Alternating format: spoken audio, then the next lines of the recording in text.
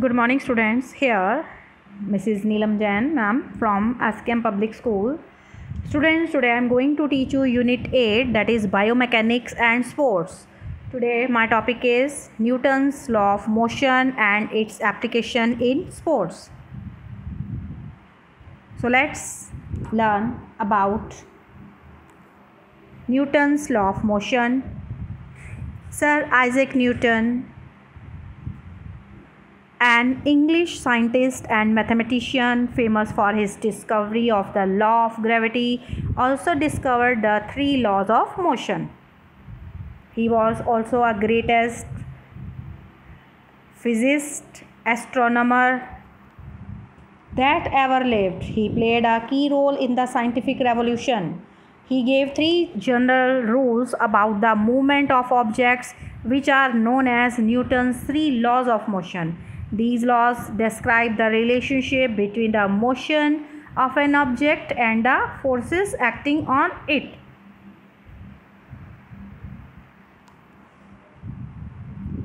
So, Newton's law of motion, Newton's first law, it is objects in motion tend to stay in motion and objects at rest tend to stay at rest unless acted upon by an unbalanced forces. Newton's second law says force equals mass times acceleration. That is, force is equal to mass into acceleration. Newton's third law, third law for every action there is an equal and opposite reaction. So let's learn about Newton's first law. An object at rest tends to stay at rest and an object in motion tends to stay in motion unless acted upon by an unbalanced force. So the Newton's first law of motion is also known as the law of inertia also. This law states that everybody in this universe continues to be in its state of rest or of uniform motion in a straight line unless it is acted upon by an external unbalanced force. In other words, we can say that if there is no net force acting on an object then the object will maintain a constant velocity. If that velocity is zero the object remains at rest. And if an external force is applied on the object the velocity will change because of this force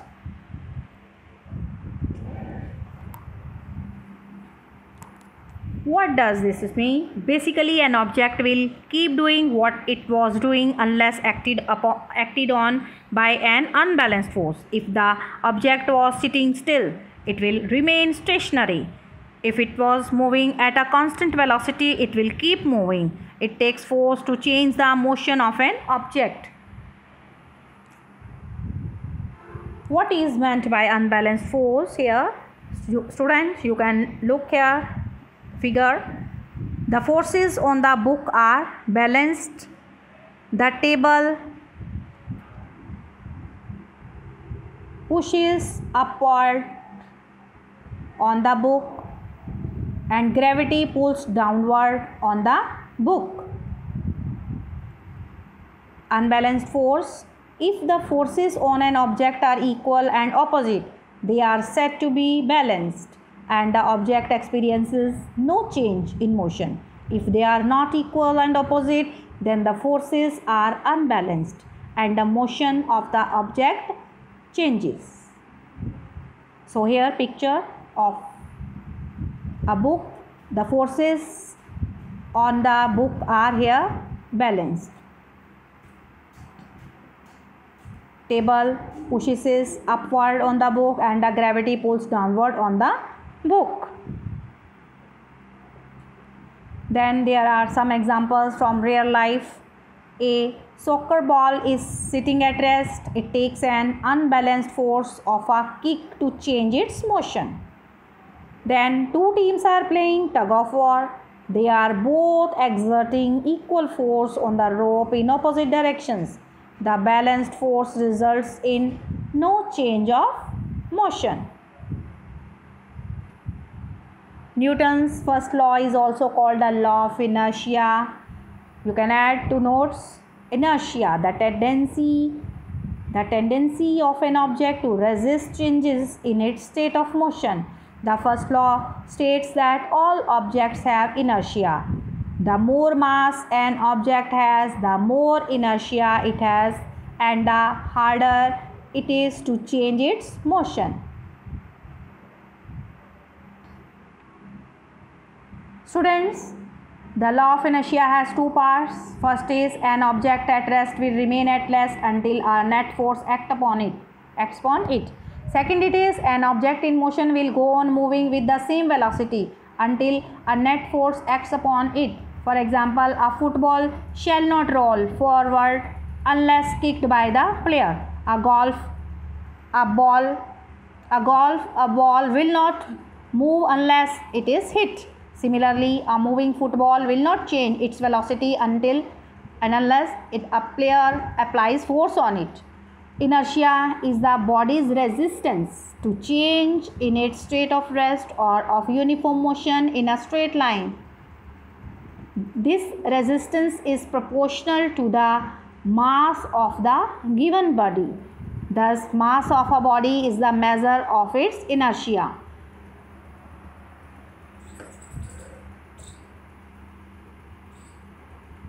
Then principles related to law of inertia combining translatory and rot rotary motions. If we combine these two motions correctly with proper timing and sequence, it will produce maximum final velocity of an object in the desired direction of release such as in the case of bike riding, car, wheelchair, etc.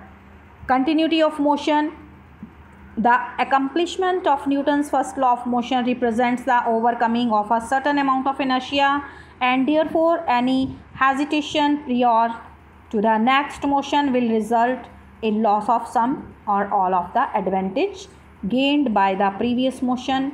For example, backward roll, pole vaulting, etc. Interruption of motion cost energy. Effects of momentum we can produce more momentum with a longer implement of the force than a shorter implement. Then transfer of momentum. Momentum developed in a body segment can be transferred to the body as a whole when the body is in contact with the supporting surface such as earth, diving board, etc.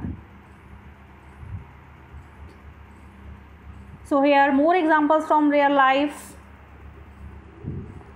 based on Newton's first law of motion or we can say law of inertia. Here a powerful locomotive begins to pull a long line of boxcars that were sitting at rest. Since the boxcars are so massive, they have a great deal of inertia and it takes a large force to change their motion. Once they are moving, it takes a large force to stop them yes on your way to school you see a bug. Bug flies into your windshield.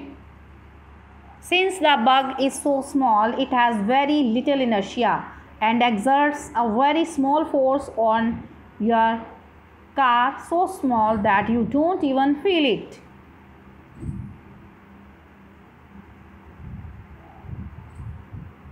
If objects in motion tend to stay in motion they don't then why don't missing objects keep moving forever? Things don't keep moving forever because there's almost always an unbalanced force acting upon it.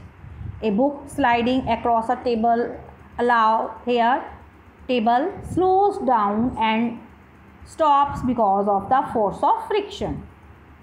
If you throw a ball upwards it will eventually slow down and fall because of the force of gravity.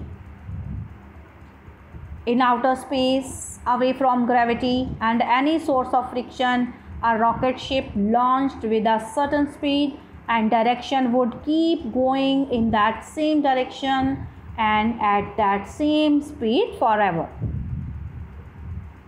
So, this is presented by Mrs. Neelam Jain. Students, try to prepare notes based on Newton's law of motion. And in the next video we will learn about Newton's second law of motion that is also called law of acceleration or law of resultant force. And about Newton's third law of motion the that third law of motion is also called the law of reaction or the law of reciprocal action force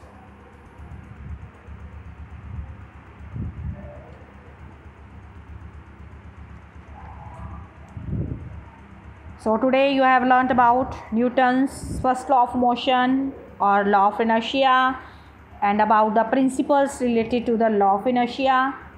Students, thank you for watching this video.